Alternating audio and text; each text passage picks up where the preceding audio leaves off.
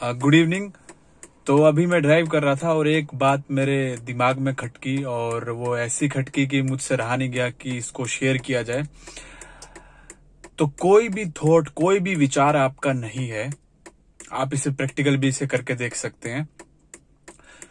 तो जब कोई थॉट हमारा है ही नहीं, हमने सारे बाहर से उन थॉट्स को अपने अंदर इम्प्लीमेंट किया है और उसमें और क्रिएटिव जोड़ के और कुछ प्रोसेसेस करके हम जो भी थॉट्स हमारे चलते हैं, हमें लगता है कि वो हम है है ना? हमारे थॉट्स जो होते हैं, वो ही हम हम खुद को समझते हैं। तो कोई भी थॉट हमारा नहीं है।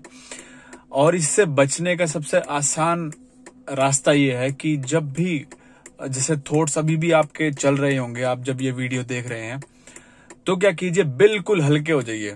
छोड़ दीजिए। ऐसा सोचिए कि कोई भी थॉट आपका नहीं है, ये सब पर आए हैं, है ना? ये पड़ोसियों के हैं।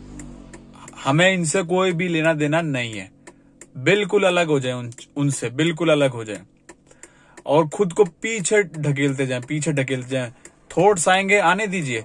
जब हमारे हैं ही नहीं हमें उनसे कुछ लेना देना नहीं है आते रहे वो। है ना? वो आते रहेंगे। हमें क्या करना है? हमें उनके ऊपर ध्यान ही नहीं देना। हमें कुछ नहीं करना उनसे क्योंकि वो हमारे हैं ही नहीं। विद इन मतलब दो से तीन मिनट के अंदर आप इतने हल्के हो जाएँगे, इतने लाइट फील करने लग जाएँगे खुद को कि वो जो थॉट्स हैं, जो आ रहे थे बार बार वो आएँगे ही नहीं, बहुत कम आएँगे।